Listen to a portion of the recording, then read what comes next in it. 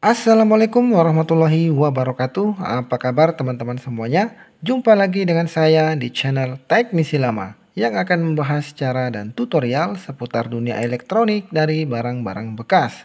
Nah oke baiklah teman-teman semuanya Kali ini saya akan memberikan sebuah tutorial kepada teman-teman semua Cara membuat sebuah motor DC brushless yang sangat sederhana sekali Dari barang-barang bekas teman-teman Ya di sini sudah saya siapkan satu buah batang besi stainless dan dua buah speaker bekas yang saya ambil dari handphone bekas teman-teman yang akan saya gunakan sebagai magnetnya. Nah, supaya tidak gagal paham, ayo teman-teman simak terus tutorialnya berikut ini. Tapi sebelum kita lanjut, teman-teman jangan lupa untuk tekan selalu tombol like dan subscribe dan tekan tanda lonceng agar teman-teman tidak ketinggalan video terbaru dari channel Teknisi Lama. Iya, untuk magnetnya di sini saya menggunakan magnet bekas dari handphone teman-teman yang seperti ini. Untuk magnetnya ini terdapat di bagian dalamnya, jadi ini harus kita lepas dulu, kita bongkar supaya kita bisa menemukan magnet di dalamnya teman-teman. Oke, kita bongkar saja supaya kita bisa menemukan magnetnya. Nah, untuk kali ini kita akan membuat sebuah motor DC brushless yang sangat sederhana sekali supaya teman-teman juga bisa paham bagaimana cara kerjanya. Kalau teman-teman sudah bisa membuat motor DC brushless yang sederhana seperti ini, tentunya teman-teman juga bisa membuat motor DC brushless yang lebih besar lagi dengan kapasitas yang lebih kuat dan lebih lengkap atau lebih kompleks, teman-teman. Ya, untuk magnetnya bentuknya seperti ini, teman-teman. Ukurannya cukup kecil sekali namun ini memiliki kekuatan yang sangat kuat sekali karena ini adalah magnet neodymium teman-teman bukan magnet ferrit atau magnet biasa. Nah ini sangat kuat sekali. Teman-teman bongkar saja supaya bisa dapat dua buah magnet yang seperti ini. Oke teman-teman sekarang kita lanjut ke tutorialnya. Teman-teman simak tutorialnya sampai selesai supaya tidak gagal paham.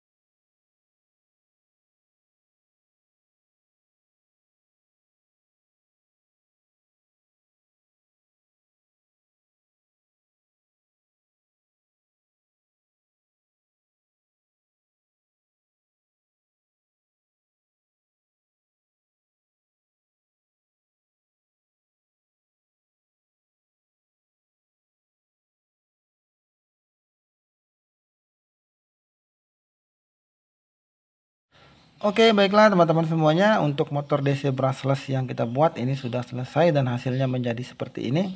Ini sangat simpel sekali sangat sederhana sekali meskipun hanya menggunakan satu buah kuil namun ini bisa berputar teman-teman. Coba teman-teman perhatikan. Saya akan berikan tegangan dari baterai. Nah ini kita bantu. Nah ini sudah berputar teman-teman. Ya meskipun dibantu namun ini tetap bisa berputar. Ada alasan-alasan tertentu kenapa harus dibantu dan kenapa tidak bisa start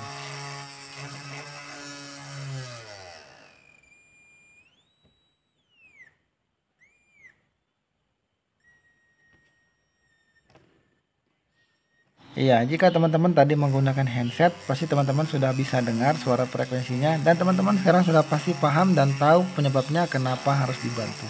Oke, dan ini mantap. Iya, untuk cara kerja dari motor DC brushless ini adalah dengan cara membangkitkan frekuensi yang ada di coil menggunakan dua buah transistor yang ada di sini teman-teman. Dan untuk dua buah resistor ini adalah fungsinya untuk menghambat arus supaya tidak berlebihan yang masuk di kaki basis kedua transistor. Nah, sedangkan untuk potensio yang nilainya 20K fungsinya untuk mengatur frekuensi agar kita bisa mengeset frekuensi yang cocok supaya bisa dapat memutar sebuah magnet teman-teman. Nah ketika frekuensinya dibangkitkan di koilnya maka akan terjadi frekuensi yang bolak-balik yaitu menimbulkan efek magnet yang tolak menolak bahkan tarik menarik sehingga membuat kedua magnet ini bisa berputar teman-teman. Namun Kekurangannya tidak bisa start sendiri jadi kita harus bantu teman-teman karena masih menggunakan single coil. Dan ini adalah cara yang paling sederhana. Nanti di video berikutnya kita akan coba juga untuk membuat beberapa buah coil 2, 3 atau 4 coil bahkan atau bahkan lebih dan kita coba bagaimana caranya supaya bisa start sendiri tanpa harus kita bantu teman-teman. Iya, jadi sekarang saya akan coba untuk memasang selotip silver supaya kita bisa melakukan pengukuran. Jadi di sini saya akan melakukan pengukuran untuk putarannya atau RPM-nya seberapa cepat atau seberapa lajukah untuk putaran RPM-nya. Oke, ini sudah terpasang. Sekarang kita coba untuk melakukan pengukuran.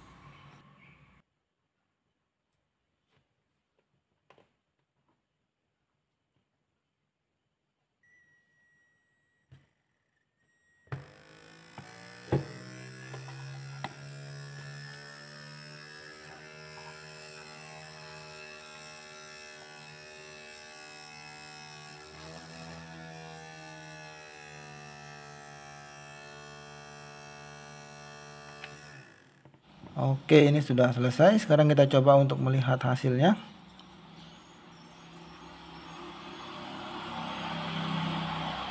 Ya ternyata untuk putarannya atau RPM nya sekitar 4000 RPM teman-teman dalam satu menit.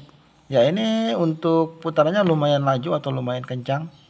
Hanya menggunakan single coil saja dan di sini tidak menggunakan sensor magnet ya teman-teman Nanti di video berikutnya kita akan coba juga untuk membuat yang lebih banyak kuil menggunakan beberapa buah magnet juga dan bagaimana caranya supaya bisa start sendiri tanpa harus dibantu. Nah, semoga video ini bisa berguna dan bermanfaat. Jangan lupa bantu tekan tombol like dan subscribe. Terima kasih.